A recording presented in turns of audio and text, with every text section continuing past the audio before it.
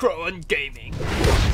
What's up guys, Krohun here bringing you another video. In today's video I'm gonna go over a specific macro. I know I recently did a macro video, but basically I missed one out that I didn't actually know and I was trying to work it out at the time and I finally got it working and so basically this macro is going to take your leg sweep or your ring of peace and switch depending on which you have out. So obviously, and if you want to add charging Ox Wave in, you can do that as well.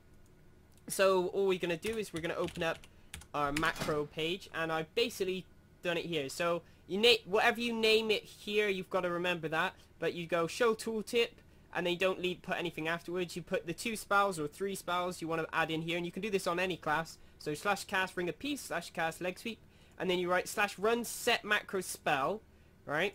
and then you open it with a uh, normal bracket and then you put your uh, parentheses whatever so it's like your two bits of say so if it's a speech or something and you put the name of the macro and then you put a comma and then you put get spell info right and then you open a brackets and you put your uh, another quote marks and you put ring of peace end quote marks end bracket or and then you put in another bracket same thing again, and then you've got to end your bracket, so you've always got to have your pair bracket. So here's the first one for that one, and here's the other, and the other two kind of obvious leg sweep and ring of peace. Right, so you can add in spells, so you just got to put or, and then put another set of brackets, and make sure you always have this end bracket, so it would be a double bracket on the end one. And then it will pretty much work, so I'll just show you here. So this says uh, ring of, this is uh, leg sweep one, so I've got it bound there, it says that macro use that. It shows a tooltip there, the cooldown or whatever. And then at the end of this cooldown, you'll be able to see the Ring of Peace. Now, uh, obviously, you could use this similarly for, you know, you want to put Dampen Harm and Diffuse Magic on the same thing. I don't actually use Dampen Harm. I recommend you not using it. It's kind of crap. And I'll talk about that in a talents video I'm going to do soon.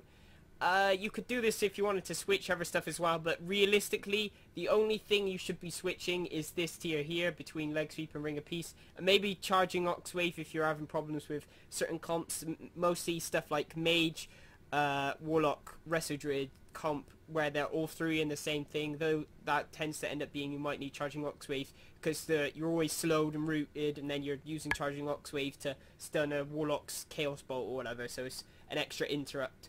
Um, but yeah, you will never change the power strikes or anything like that. Obviously, this has come off now. So all I'm going to do is hit Ring of Peace. Right, hit Learn. So now I've switched from Leg Sweep to Ring of Peace. Right, and then as you see here, it's like not changed yet. But if I push the button, it will change and it will automatically put the cooldown there. So it doesn't change instantly. Like there's Ring piece whatever though. And uh, it the cooldown is like the right cooldown. I can show you by doing this. And there you go. See, like the actual cooldowns there. So hopefully this video helped you. Um, if it did, leave a thumbs up. It really does help, and uh, it lets me know what you, whether you like it or not. Also, subscribe if you want to see more videos like this, and I'll see you again soon. Goodbye.